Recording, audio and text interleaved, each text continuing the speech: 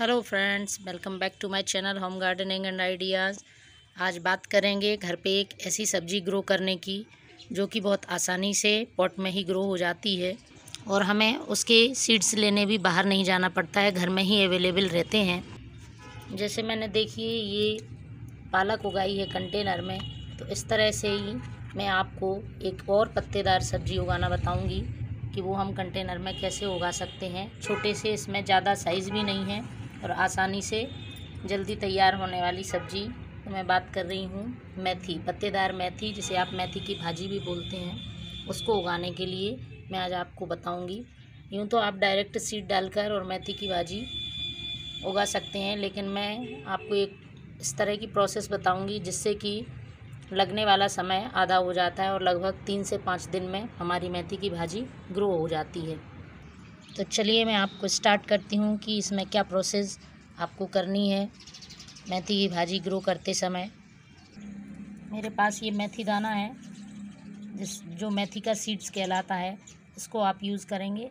और इसको हम डायरेक्ट यदि मिट्टी में यूज़ करते हैं तो भी उग जाती है मेथी की भाजी। लेकिन मैं आपको ऐसी प्रोसेस बता रही हूँ, जिससे आप जल्दी से जल्दी इसको ग्रो कर सकते हैं। तो इसके लिए हमें क्या करना है, इसको आठ से दस घंटे के लिए हम इसको पानी में भिगो के रख देंगे। मैं इसमें पानी डाल देती हूँ। आप चाहें तो रात भर इसको भिगो कर रखें। इसको आठ दस घंटे के लिए यूँ ही भिगोने रख देते हैं। फ्रेंड्स, आठ से दस घंटे मेथी के बीज पानी में गले हुए थे।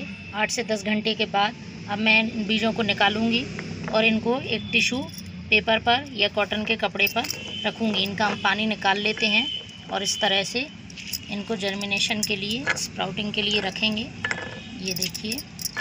और इसको हम आठ से दस घंटे के लिए फिर से रख देंगे, जिससे ये इसमें से स्प्राउट निकल के आते हैं।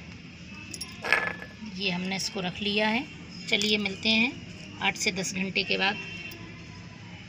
चलिए फ्रेंड आठ से दस घंटे हो गए हैं। अब हम देखते हैं हमारे जो हमने टिश्यू पेपर में मेथी के सीड्स गला के और उनको रखा था तो आठ से दस घंटे बाद उनका क्या अपडेट है, आइए देखते हैं। ये मेरे पास मेथी के सीड्स हैं, इसको मैं देखती हूँ। तो देखिए, ये सारे सीड्स अंकुरित हो गए हैं। इनमें स्प्राउटिंग हो गई है। तो यही कारण है, ये रीज़न बताने वाली हूँ मैं कि ऐसा करने से आपकी मेथी जो है, बहुत जल्दी ग्रो होती है। उसका जो नॉर्मल लगने वाला समय है, उससे आधा समय इसमें लगता है।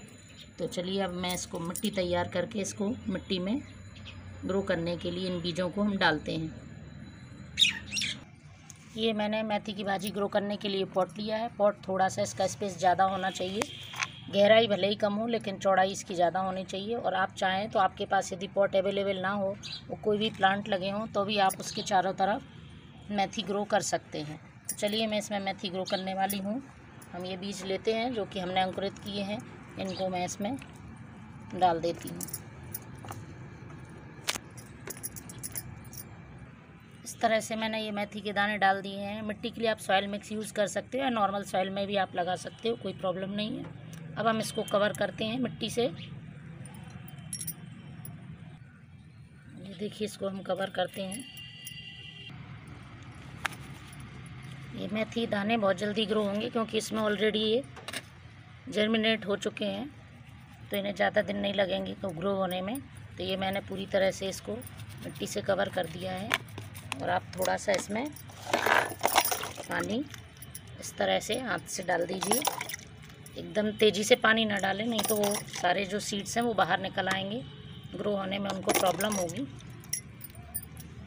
तो ये हमने इसमें डाल दिए हैं सीड्स चलिए मिलते हैं कुछ दिनों के अपडेट के लिए। आइए देखते हैं, हमने जो मेथी बोई थी, उसका क्या अपडेट है? तीन दिन के बाद देखिए आप, सारे मेथी के दाने जर्मिनेट हो गए हैं और इनमें छोटी छोटी सी लीफ भी आ गई हैं। तो कितने जल्दी से ये ग्रो हुई है? इसका कारण भी वही है कि हमने इसको पहले से भिगा लिया था और उसको स्प्राउटिंग कर ली थी उसकी, इसलिए ये इतने जल्दी से उगाई है। तो ये बहुत अच्छा तरीका है मेथी ग्रो करने का। चलिए मिलते हैं अगले अपडेट के लिए। फ्रेंड्स, पंद्रह से बीस दिन के बाद आप मैथी का रिज़ल्ट देखिए। कितने हेल्दी प्लांट निकलने वाले हैं, ये देखिए। काफ़ी अच्छी ग्रोथ हुई है।